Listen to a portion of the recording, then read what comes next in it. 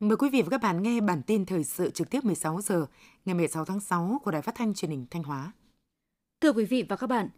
theo Bộ Nông nghiệp và Phát triển Nông thôn, hiện nay châu chấu tre đã phát sinh và gây hại tại 11 trên 16 tỉnh ở phía Bắc, gồm Cao Bằng, Bắc Cạn, Điện Biên, Lạng Sơn, Sơn La, Tuyên Quang, Hòa Bình, Phú Thọ, Thanh Hóa, Nghệ An, Quảng Ninh.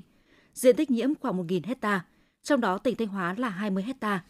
Để chủ động phòng chống, hạn chế thấp nhất thiệt hại do châu chấu tre gây ra, Bộ Nông nghiệp và Phát triển Nông thôn đề nghị Ủy ban nhân dân các tỉnh và các cơ quan, đơn vị thuộc Bộ điều tra phát hiện sớm các ổ châu chấu trên địa bàn và tổ chức phun trừ kịp thời. Các địa phương, đặc biệt là các nơi có châu chấu tre thường xuyên xuất hiện, cần chủ động xây dựng kế hoạch, dự trù nguồn ngân sách, chuẩn bị đầy đủ điều kiện về vật tư, nhân lực, sẵn sàng cho công tác phòng trừ châu chấu tre. Huyện Thường Xuân hiện có 4 nhà máy thủy điện đang vận hành, gồm nhà máy thủy điện Cửa Đạt, Xuân Minh, Bái Thượng, Dốc Cái. Để hạn chế thấp nhất thiệt hại do thiên tai gây ra, bảo đảm an toàn cung cấp điện, an toàn đập, hồ chứa, công trình thủy điện. Ngay từ đầu năm 2024, chủ đầu tư các nhà máy thủy điện đã tiến hành ra soát, đánh giá, cập nhật sửa đổi bổ sung phương án phòng chống lũ lụt, điều tiết xả lũ, các hồ chứa trên cùng lưu vực sát với thực tế.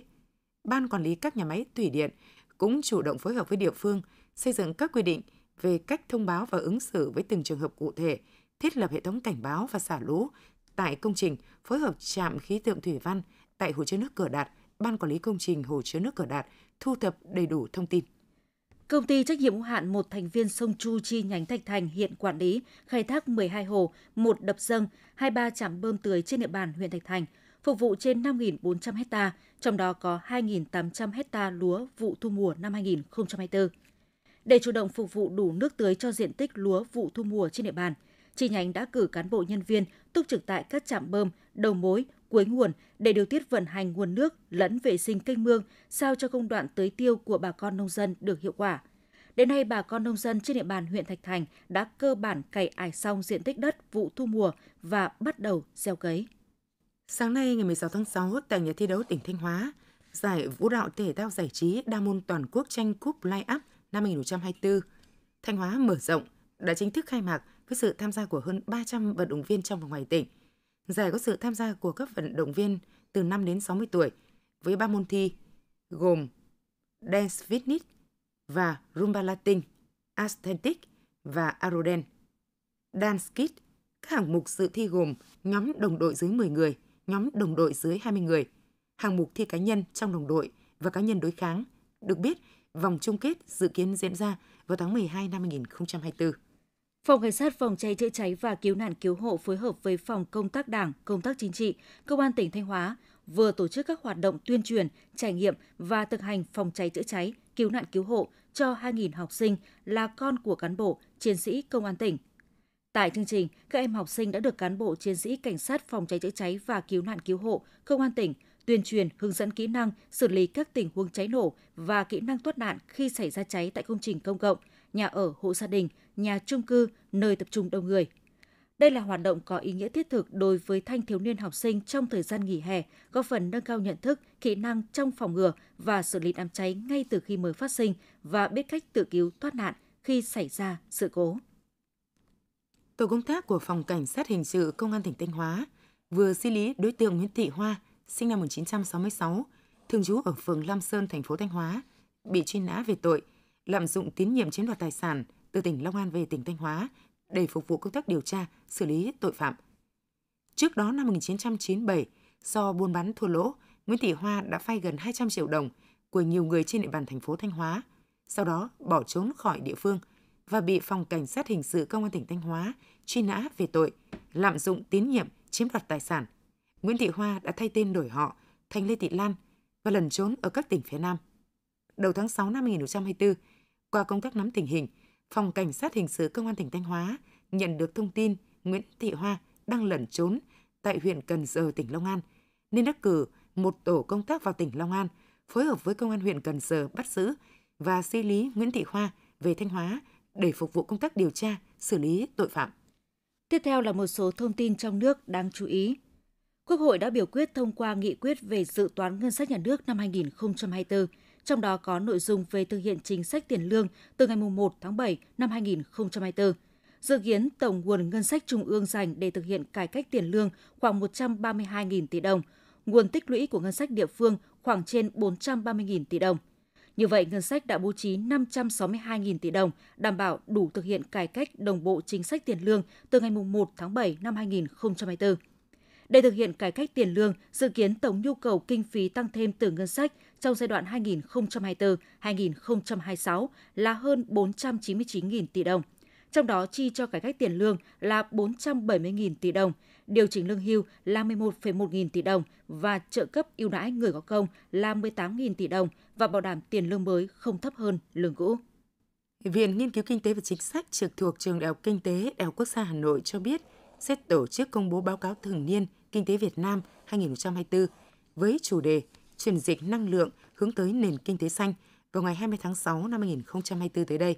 Theo đó, các công bố trong báo cáo tập trung phân tích khách quan những thành tiệu, khó khăn cơ hội và thách thức trong quá trình phát triển, góp phần cung cấp cơ sở khoa học cho việc hoạch định chính sách kinh tế vĩ mô, đồng thời thảo luận có chọn lọc một số vấn đề kinh tế lớn và chuyên sâu của Việt Nam. Việt Nam là một trong những quốc gia châu Á có tham vọng lớn tại Hội nghị Liên Hiệp Quốc về biến đổi khí hậu COP26. Chiến lược phát thải dòng bằng không của Việt Nam cam kết giảm 43,5% lượng khí thải vào năm 2030.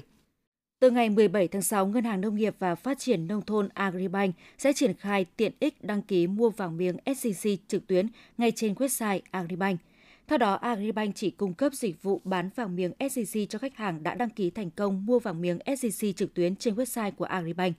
Thời gian đăng ký mua vàng trực tuyến trên website Agribank từ 9 giờ đến 15 giờ thứ hai đến thứ sáu hàng tuần. Thời gian thanh toán và nhận vàng tại điểm bán vàng miếng SJC của Agribank từ 13 giờ 30 phút đến 16 giờ trong ngày đăng ký mua vàng thành công. Đại học Bách khoa Hà Nội tổ chức lễ ra mắt và giới thiệu chương trình kỹ sư chuyên sâu đặc thù đào tạo về trí tuệ nhân tạo, tạo sinh. Trí tuệ nhân tạo tạo sinh Gen AI là lĩnh vực của trí tuệ nhân tạo, tập trung vào việc tạo ra dữ liệu mới bao gồm văn bản, hình ảnh, âm thanh. Gen AI sử dụng các mô hình học máy tiên tiến được huấn luyện trên kho dữ liệu khổng lồ để học cách mô phỏng và tạo ra những dữ liệu mới độc đáo. Trường Công nghệ Thông tin và Truyền thông Đại học Bách khoa Hà Nội cho biết, chương trình đào tạo sẽ trở thành một bước tiến mới trong việc đào tạo nguồn nhân lực chất lượng cao trong lĩnh vực trí tuệ nhân tạo nói chung tại Việt Nam. Bộ Y tế vừa ban hành thông tư về danh mục bệnh truyền nhiễm đối tượng và phạm vi phải sử dụng vaccine, sinh phẩm y tế bắt buộc. Theo thông tư này, Bộ Y tế quy định danh mục 10 bệnh truyền nhiễm và sử dụng vaccine, sinh phẩm y tế bắt buộc đối với người có nguy cơ mắc bệnh tại vùng có dịch hoặc đến vùng có dịch, trong đó có COVID-19. Bộ Y tế hướng dẫn tiêm và tiêm nhắc lại vaccine COVID-19 cho 5 đối tượng, gồm cán bộ y tế, người trên 50 tuổi, người có bệnh lý nền, người trên 18 tuổi chưa tiêm mũi nào, phụ nữ có thai. Nếu chưa tiêm liều nào thì tiêm ngay một liều, nếu đã tiêm thì tiêm thêm một liều cách liều trước đó từ ít nhất 6 tháng.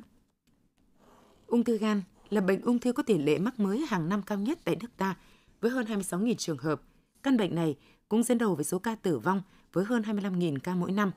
chiếm 21% tổng số ca tử vong do ung thư. Nguyên nhân của tình trạng này, theo các chuyên gia, phần lớn là do tỷ lệ người mắc virus viêm gan B và viêm gan C tại nước ta rất cao. Hiện nay, ước tính 8 đến 10% dân số Việt Nam nhiễm virus viêm gan B C. Đây là yếu tố nguy cơ cao đối với ung thư gan, chiếm khoảng hơn 50% tỷ lệ mắc ung thư gan. Các bác sĩ khuyến cáo người dân cần đi khám, xét nghiệm sàng lọc để phát hiện virus viêm gan, từ đó được quản lý theo dõi và điều trị sớm, tránh biến chứng. Bảo hiểm xã hội Việt Nam tổ chức cuộc thi sáng tác ca khúc về chính sách bảo hiểm xã hội, bảo hiểm y tế, bảo hiểm thất nghiệp của Đảng và Nhà nước với chủ đề Bảo hiểm xã hội Việt Nam, trụ cột an sinh xã hội.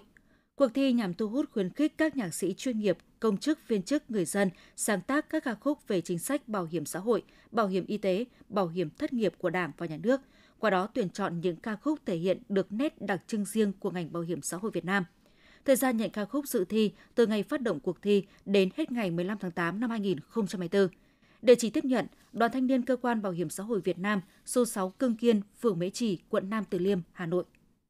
Theo Trung tâm Dự báo Khí tượng Thủy văn Quốc gia, nhiều ngày tới, khu vực vùng núi và Trung du Bắc Bộ tiếp tục có mưa rào và rông rải rác. Vào chiều tối và tối, cục bộ có mưa vừa đến mưa to. Dự báo ngày mai 17 tháng 6, đồng bằng Bắc Bộ có nắng nóng, có nơi nắng nóng gai gắt với nhiệt độ cao nhất phổ biến từ 35 đến 37 độ, có nơi trên 37 độ. Miền Trung tiếp tục có nắng nóng và nắng nóng gai gắt. Dự báo nắng nóng còn kéo dài nhiều ngày tới ở các tỉnh miền Trung. Thông tin vừa rồi cũng đã khép lại chương trình thời sự của Đài Phát thanh và Truyền hình Thanh Hóa. Xin kính chào và hẹn gặp lại quý vị và các bạn trong những chương trình sau.